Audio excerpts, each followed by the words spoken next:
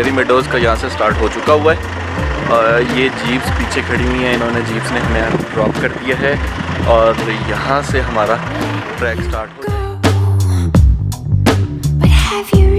But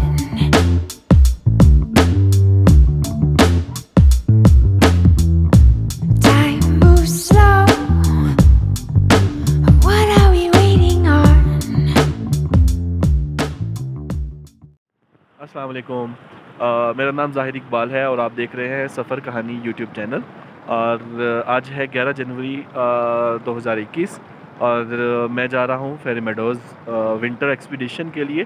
winter survival expedition इसको कहा जा सकता है. ये हम लोगों ने इसका नाम दिया हुआ है विंटर सर्वाइवल एक्सपीडिशन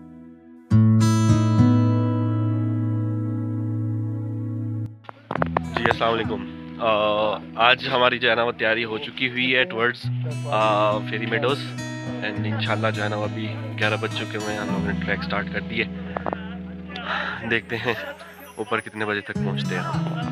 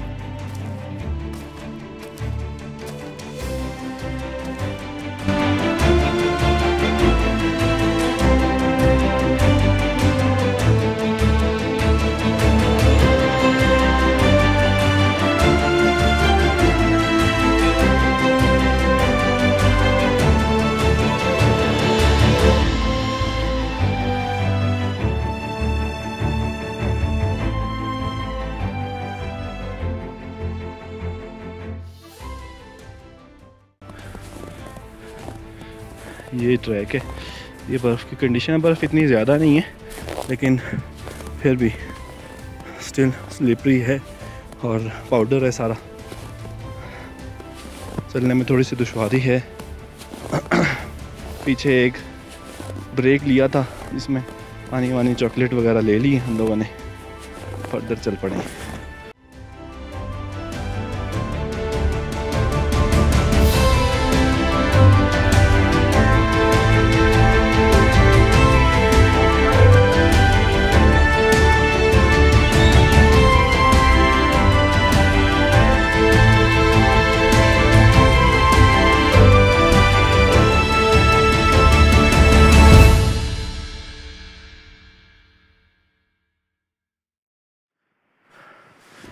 अच्छा जी अभी अराउंड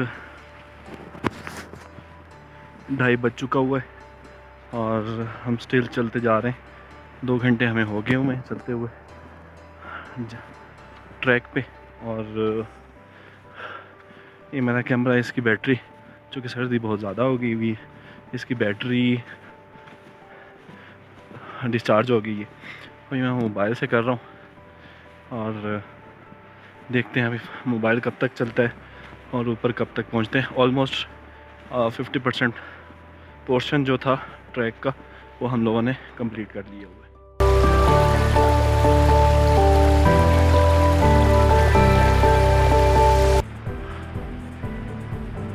सेम उसी ट्रैक पे अभी तक फेरी मेडोज़ पहुँचने में अभी भी स्टिल डेढ़ घंटा बाकी है। मिड पॉइंट हम लोगों ने क्रॉस कर लिया हुआ है।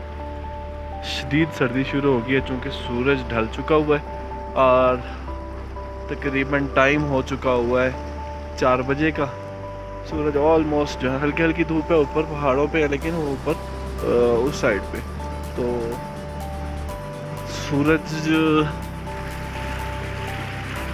के तो अब कोई आसार नहीं है। अब शदीद सर्दी ही होगी और ऑलमोस्ट काफ़ी सारे लोग जा चुके हुए हैं। ये रास्ता है इनके सामने ये दरवाज़ा नज़र आ रहा है। ये रास्ता है और इस रास्ते से हम लोगों ने चले जाना है ऊपर।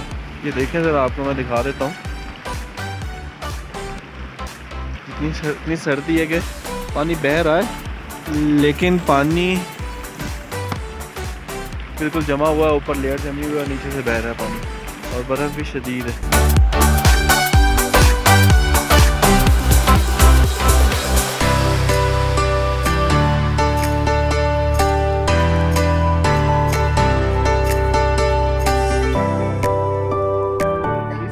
और मैं जा रहा हूँ फेरी मेडोज़ विंटर एक्सपीडिशन के लिए।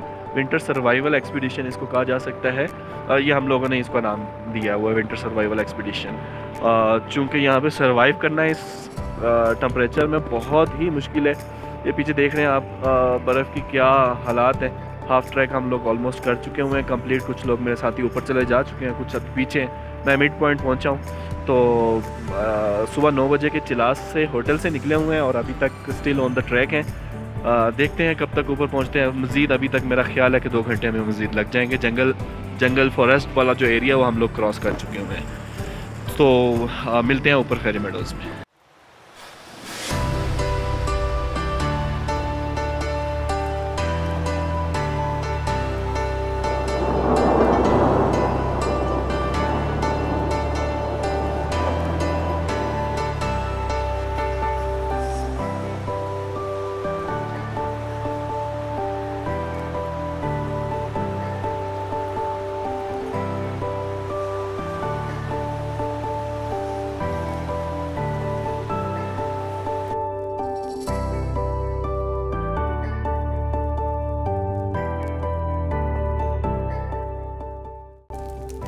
जी अस्सलाम ये अभी हम फेरी मेडोज़ पहुँच चुके हुए हैं।